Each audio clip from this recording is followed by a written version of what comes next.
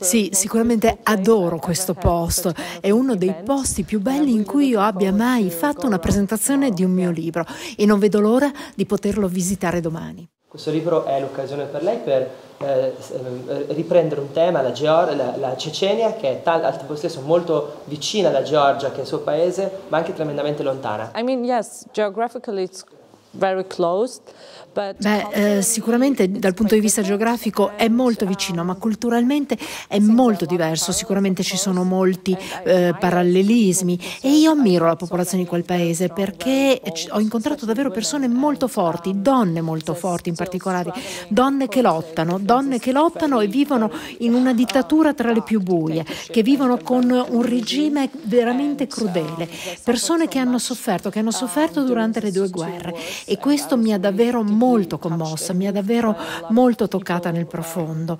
Culturalmente, dal punto di vista religioso, dal punto di vista delle tradizioni, ci sono delle grandi differenze, però per me è davvero molto interessante, è stato davvero molto interessante poter visitare quel paese, perché il Caucaso è una regione eh, piccola alla fine, con popoli diversi, paesi diversi, lingue diverse, ma per me è davvero stata un'esperienza straordinaria poter andare lì.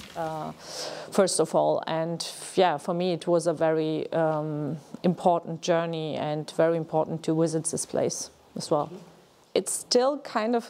Sì, sono davvero sempre molto sorpresa. È davvero un grande dono, è davvero un grande dono di fronte al quale io mi sento piccola. È straordinario, straordinario perché ha più vite, molte più vite di otto e continua a vivere perché continua ad essere tradotto in tantissime lingue. L'ultima traduzione è in cinese. Dunque è un libro che ha una sua vita, che non mi appartiene più, ma è un vero e proprio dono. E dunque io davvero mi sento piccola piccolina di fronte a tutto questo. È un libro che mi permette di essere in contatto con varie persone, persone che ovviamente non conosco personalmente, ma con le quali si crea un legame emotivo e sono davvero grata per questo, per quello che succede in eventi come quello di eh, questa sera. È un grande dono per me. I, um, very thankful because mostly they share these emotions with me when I get um, the opportunity.